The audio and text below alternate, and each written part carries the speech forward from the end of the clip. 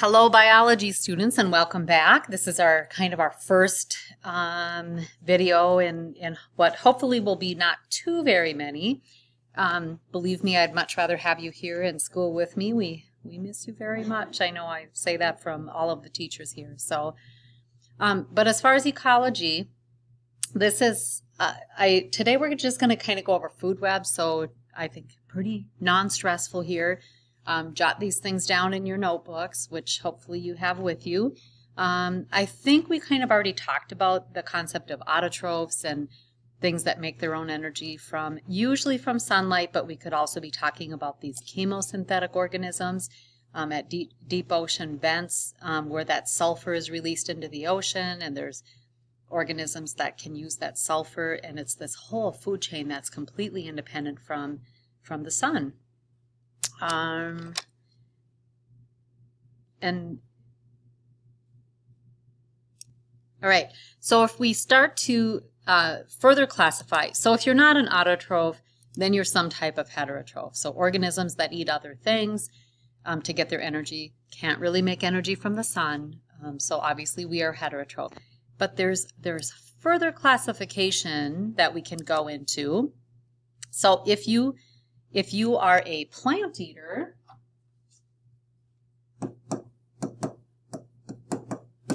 or in the case of those deep ocean vent um, communities, if you eat the things that can harvest that energy from the sulfur.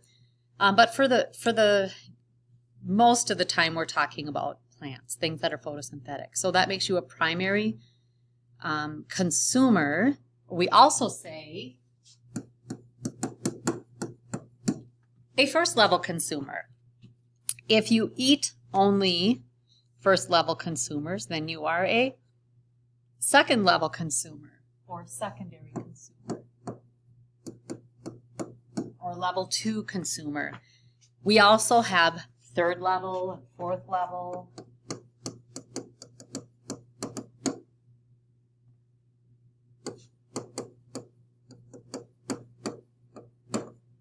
quaternary, that might be ERY, I don't remember.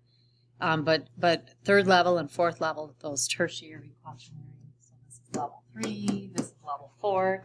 Once in a while we see level five, but we're going to talk later about why we don't really see that very often. Um, further classification even even more so these um, these heterotrophs can be classified into what level of consumer they are that's one way to sort of subclassify. But we also can classify organisms by what they eat. So if you eat only plants, you are a primary consumer, but you are also an herbivore. So things like, right, deer, um, rabbits, some insects,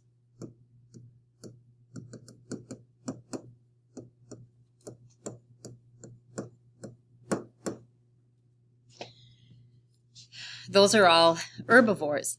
If you are something that eats only consumers, so only animals, then you are a carnivore. And we know in this area, we're typically talking about wolves,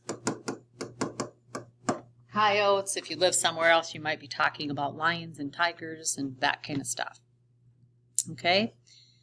Omnivores, remember earlier when we talked about generalists and specialists, and we said specialists kind of only have one kind of food source that they prefer, maybe, or they're very limited. Omnivores can eat every, or not everything, but lots of a very wide variety. So omnivores actually can eat both plant and animal. So technically, we are omnivores because we can eat both. Um, but we, I know we mentioned bears color. That'd be beers. That's not what we're doing. Bears, raccoons, and so on. Um, when we talk about scavengers, so scavengers are consumers that can feed on dead things, like vultures. And we actually have a lot of animals that can feed on can feed on dead things. Um, vultures typically I think, only probably feed on dead things, but they're opportunistic, like they would. So things that can feed on dead things are um, obviously wolves and coyotes can do that too. Eagles can do that too. They have lots of um, um, bacteria and stuff in their stomachs that, like, if we ate on something that had been dead a long time, we'd get pretty sick from that, right? Like, we're pretty wimpy. Like, we get food poisoning if something's left out of the refrigerator too long. Scavengers have special, you know, strong acid and strong um, enzymes in their stomach, and that can that so they don't get sick when they eat those dead things. And I'm just going really quickly. If you need to pause this, remember this is a video. You pause where you need to. Decomposers, organisms that break down dead tissue and waste into carbon, hydrogen, nitrogen, oxygen, phosphorus, sulfur, and all the elements that are available in our world. It's important, I think, to remember that all things in our world are present at a constant level, meaning that we have the same amount of carbon on our world always. It's not like we're getting more carbon from outer space or that we're losing any to outer space. What we have here is a constant supply. And that's true of all of these elements, the hydrogen, the nitrogen, the oxygen, all of it. It just simply gets tied up into different forms. Um, so living things, you know, plants kind of absorb these dissolved things from the from the soil and then um, you know build these molecular structures and then when we eat the plants we get this stuff but when things die, decomposers break those things down and return them back to the world. So things that are decomposers are obviously bacteria.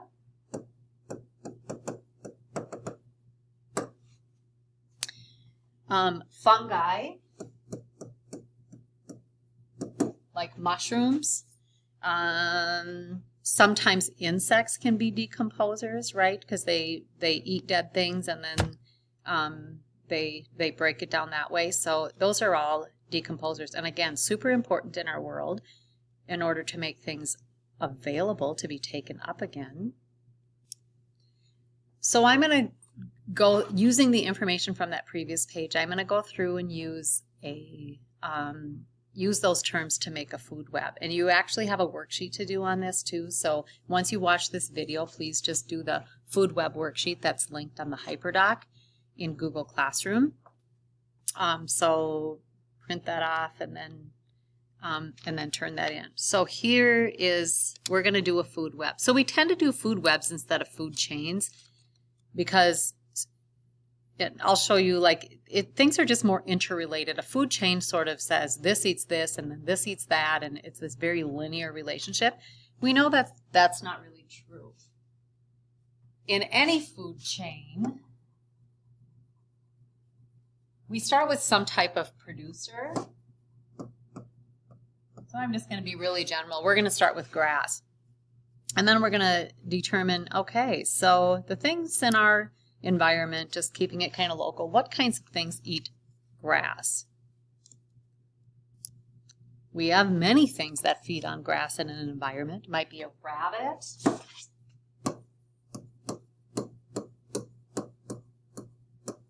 Could be a grasshopper.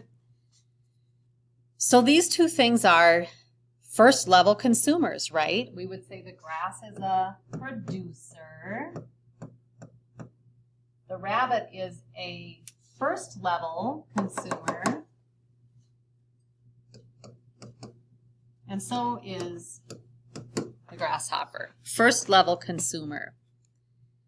Let's see, what could possibly eat a rabbit? Maybe a fox, right? And then what might eat a grasshopper? maybe a bird. But if I think about this, probably the fox would probably also eat the bird, right? You will notice, and I and this is super important, the arrows point in the direction of energy transfer. The fox is getting energy from the bird, so the energy that's stored in the bird is being transferred to the fox. So now let's label our um, let's label these really quickly so I don't forget. So any the rabbit is eaten by a fox. That makes the fox a second level consumer, and so is the bird second level consumer. But uh oh, when the bird is eaten by the fox, now the fox is also a third level consumer. And here's how here's how I know that. So if I go, let me pick a different color. Let's do let's do blue. So the rabbit is one step away, one feeding level away from the grass. That's why it's a first level. The fox is one, two steps away from the grass. That makes it a second, secondary consumer or second level consumer. The fox is also one, two, three levels away from the grass if I follow this. So the if I follow this set of arrows, and so that makes that fox both a second and a third level consumer. I also, so for the worksheet, you also have to label, so this is super simple, um, a super simple um, visualization, an example of that. So I also can go back, I'm going to pick a different color that I haven't used. I also can label these as P for producer. Well, I've already labeled my producer right here. But I also, um, for the food web that you're going to do, you also need to label as herbivore, carnivore, or omnivore. Let me see. Let's say that, I don't know, I have to think about if I have an omnivore here. Let's say that my bird also eats grass seed, okay? So I also, so the bird also is a first level consumer, right?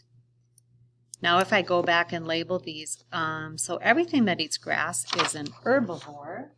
So the rabbit is an herbivore. The grasshopper is an herbivore. The bird is both an herb, herbivore and, but it also, we said it also will eat, um, it eats grasshoppers. So this actually is an omnivore. The bird is an omnivore. By the way, make sure you're labeling next to the organism and don't label on the arrow. That doesn't make any sense. We're labeling the actual um, organism here. So herbivore, and the fox is clearly a carnivore. He's just a cold-blooded meat-eating killer.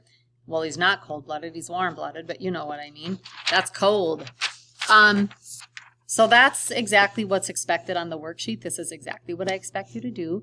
And then the bottom part of the worksheet, please don't forget, you have to create your own food web using the organisms given on the bottom. And it's okay if everybody's is a little bit different because sometimes, you know, for example, how big the king snake is might determine what will eat it.